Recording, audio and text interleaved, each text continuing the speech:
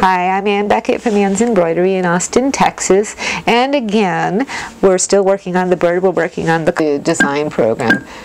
And, and the fact that you can choose any type of stitch that you want with it is is great. Purchase now, if you're a beginner, you may not want to go with uh, Melco design uh, or Melco machine and Wilcom design equipment because it is really expensive. Um, if you're more into home embroidery, then you'll want to go with like a Bernina or a Brother. Uh, you know, or Singer. There are quite a few. Uh, the cost is about right about a thousand dollars for the machine, and it does come with a certain amount of of uh, stock designs, which I think are garbage. But you know, if, if you're just putting things on your granddaughter's dresses, then you know that's fine.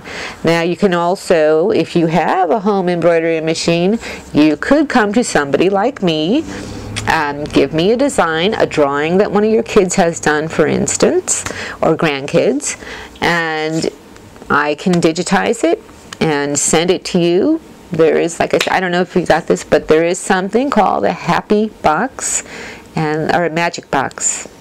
I think there's two different companies that make them. One calls it a happy box, the other one calls it a magic box.